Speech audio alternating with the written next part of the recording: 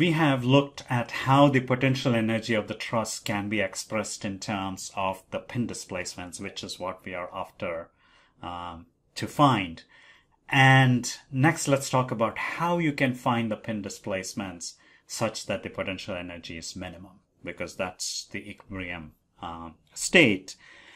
And before I get talk about that, let me briefly go back to my framework of what's under the black box. So you know, physical problem is the truss um, subjected to forces and displacement constraints.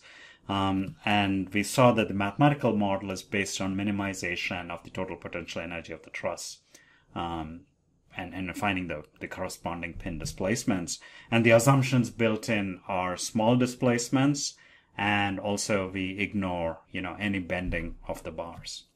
So we've talked about the mathematical model and here uh, move we move on to considering how that mathematical model is solved numerically.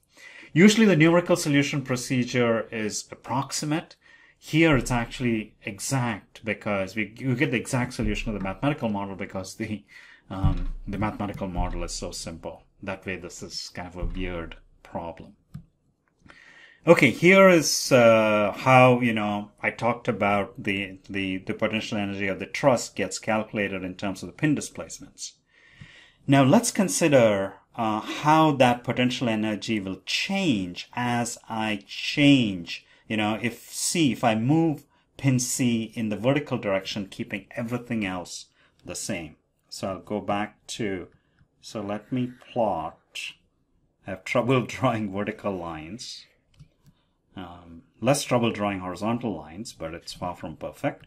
Okay, so I'm plotting the potential energy of the truss versus the uh, you know the displacement of pin C in the vertical direction. And if I look at this expression now here, you know, UCY is squared. Here also it's squared, and it doesn't appear in um, in actually you know in, in this term. So it, it affects only, if I move C, it affects only the potential energy of this bar and this bar. It also doesn't affect the work done by the force because that's in the horizontal direction. And so I think you can see that this will have to be, this will be like a parabolic variation and equilibrium will be when that potential energy is minimum. And I can find that by differentiating pi with respect to UCY and setting that to zero. So that'll give me this, this minimum point. So let's say if, if I differentiate um, pi BC versus UCY, okay, I will get KBC, this two, uh, and that two will cancel, times UCY minus UBY. So you get a linear, you know, um, you, you get a linear term, so you'll get this displacement, vertical displacement here and vertical displacement here. Um, and then if I different, similarly, if I differentiate this, I'll get the, the vertical as well as the horizontal displacement here, the vertical as well as the horizontal displacement here.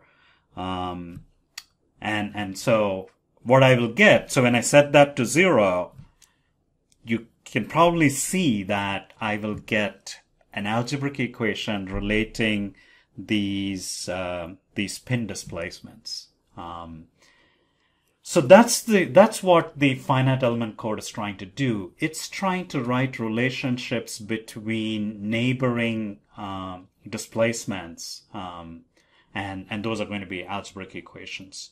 So I can differentiate each uh, unknown displacement with respect to um, the potential energy with respect to each unknown displacement, and I'll get an algebraic equation relating that displacement to to neighboring pin displacements. So essentially, what I have is a system of algebraic equations that uh, that I can invert, and that's what that's what ANSYS will do.